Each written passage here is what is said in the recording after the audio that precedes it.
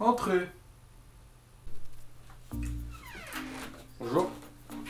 Bonjour.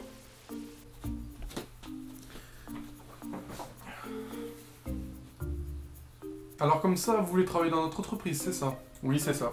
Très bien, faites-moi voir votre CV alors. Oui, tenez. Merci. Alors... Vous savez, de nos jours, euh, c'est difficile de trouver un travail. Sinon, j'ai notre passion dans la vie, c'est Call of Duty et j'ai 3,50 de ratio. Ah, mais Call of Duty Mais si, je connais, si Bah c'est bon, vous êtes embauché. Call of Duty, un copain le midi, un copain le soir. Ah, ça aide pas, hein. Le ratio ne fait pas tout, alors arrêtez de jouer votre vie et amusez-vous. Ce message était adressé aux gros oui, campeurs de Call of. Duty. Très très parfait, je vois. Continuez comme ça.